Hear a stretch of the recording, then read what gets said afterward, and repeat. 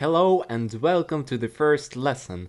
We are creating massive like that by the planes. In general, it is already the barrel frame, but without front boards, we will do them in the next episode. But now let's work with this thing. Let's place our cube in the middle of the sun. You can place it like me. So that axis coordinate are matched with mine. So every button you press will match with these buttons on the screen.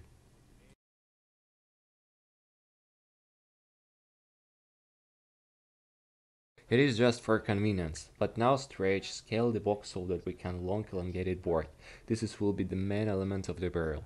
Then we should bend our new board. For this cut it on 5 loops. Also I remind you that we have additional information for current operations in that bottom of the screen. Right now you can see that I'm cutting board but with 3 loops.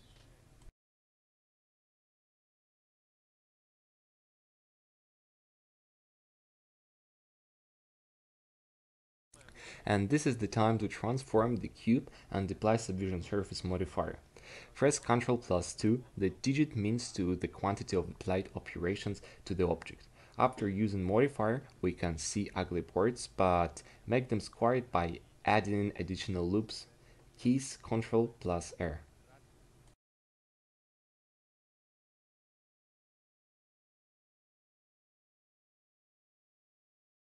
So, the board as main element of the barrel is completed. Then we should arrange it in a circle and it in the middle. For this create new element empty, plane axis. This is, will be our conditional center of the barrel. If I can say simpler, the point around which will be the boards.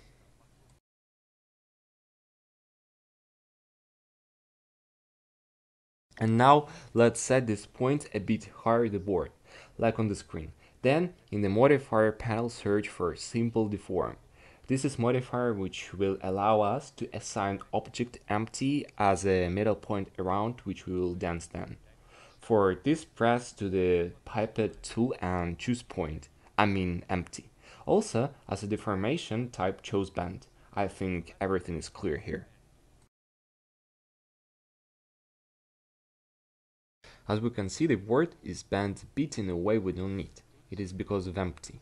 More precisely in the rotation placement. When we rotate it, the board starts bent with it. I leave it for now and for clarity I will check general option for transform.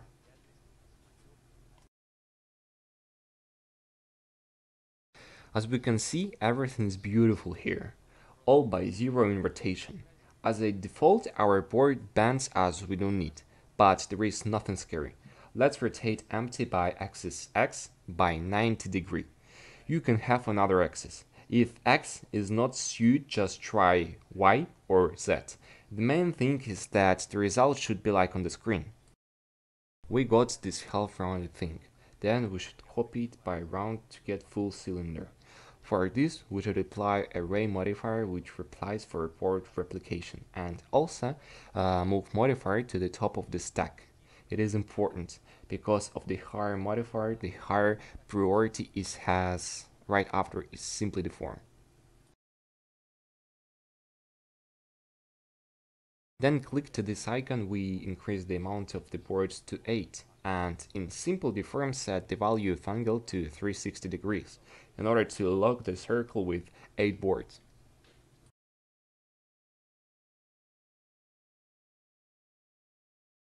Then set everything as you want. The value of the ports A stopped on the 20. I like this. Now I want to reduce the barrel scale and increase the port thickness. For some reason, I chose not that easy way to solve this task. I'm gonna do it by some manipulations with the center. As we can see, operation scale doesn't make a result, but the movement to the bottom is what we need.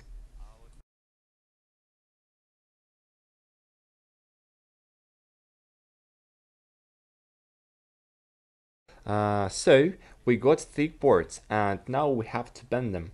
But before this I'm doing some manipulations with the appearance. Notice that I'm doing it with boards only.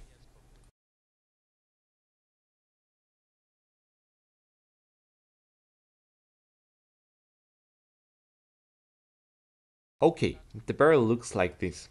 Now move to edit mode. Click here to move in transparency mode. Also choose proportional editing.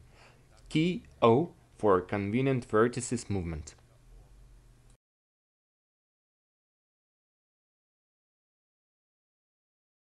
And as you can see, I already pulled central vertices for a smooth band.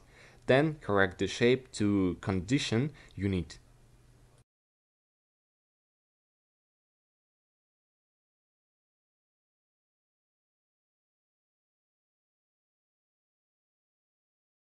Okay, we got pretty nice things with thick, beautiful words. In general, everything as I like. And I almost forgot, here is an important moment. Make sure that there is no space between words. If you have them, this regulator will help you.